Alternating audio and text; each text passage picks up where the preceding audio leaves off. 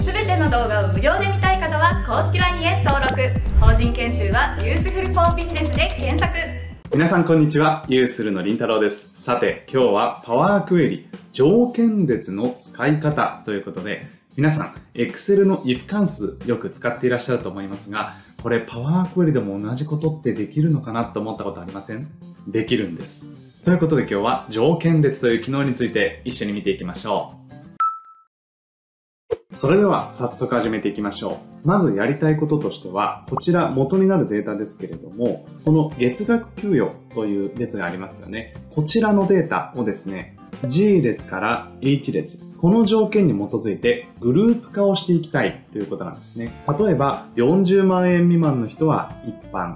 70万円以上の人は幹部といったようにグループを作りたいわけです。そしてそのグループは一つの列として表現をしてあげたい。例えばこの F 列に25万円であれば一般というデータが付け加わるイメージですね。それでは実際にデータを取り込んでいきましょう。データの範囲を選択をしてあげた上でデータから今回はテーブルまたは範囲からですね。はい、データをインポートすることができたわけですが、グループを作りたい場合、パワークエリでは2つやり方があるんですね。まず1つ目のやり方、月額給与から列の追加、そして例からの列という機能を使うやり方です。このやり方、別の動画でご紹介をしているんですが、デメリットがあります。条件を自分が思った通りに指定ができるわけではなくて、パワークエリの方で自動で作られた数式を修正する形でしかグループを作ることができないんですね。じゃあ効率がいいやり方は何なのかというと、もう一つ目のやり方でして、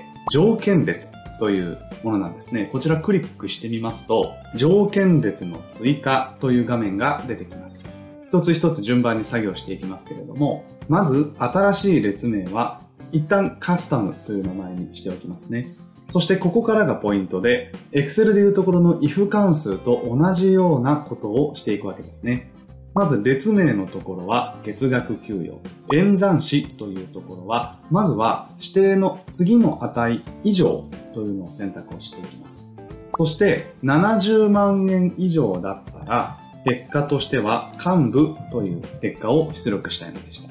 次に区の追加というところで、新たに条件を追加することができます。Excel でいうところの else if と同じような感覚ですね。同じくですね、列名は月額給与。演算子としては次の値以上。で、値のところは40万円にしてあげます。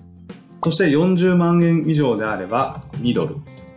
そして幹部とミドル以外の場合だったらというので、それ以外の場合というところに一般という文字列を打ち込んであげた上で OK ボタンを押してあげます。そうすると、はい、このように先ほど指定した条件に基づいてグループ分けをしてくれたわけですね。この状態でホームから閉じて読み込む、閉じて次に読み込む。そしてテーブルで既存のワークシートの今回は J 列にテーブルを展開したいと思います。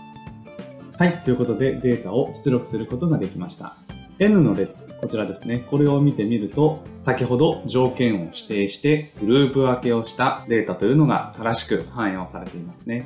ということで、改めて条件列という機能を見ていきたいと思いますけれども、適用したステップの追加された条件列というところですね。このギアアイコンをクリックして、はい、条件列の追加という画面、改めて見てみたいと思います。このように条件指定できるわけですけれども、より作業を効率化したいという場合にはですね、まず新しい列名のところはカスタムではなくて、給与区分とかですね、そういう名称に変えておいた方がよろしいかと。そしてこの条件のところも改めて見てみるとですね、一番右側に点々点がありますよね。この点々点クリックしてみると、削除もしくは上下へ移動という風になってますよね。これどういうことなのかというと、Excel の if 関数も同じですけれども、一番上にある条件式というのが最優先で適用されるわけです。なので、この順番によっては自分が指定した条件通りにグループ分けができないということがありますので、もし結果が自分が思った通りになってないなと思った場合はですね、この条件式の順序を入れ替えることで解決ができることがあります。では、どうやって順番を入れ替えるのかというと、この右側のその他というところから式を移動してあげれば良いということですね。今、70万円が下に来ましたよね。これ上に持っていきたいときは上へ移動ということになります。はい。ということで、この条件列という機能を使えば、元になっているデータの条件に応じてグループ分けをしたい時にとても役に立ちますので、ぜひここで押さえるようにしてください。今回の動画は以上になります。また次回の動画でお会いしましょう。バイバーイ。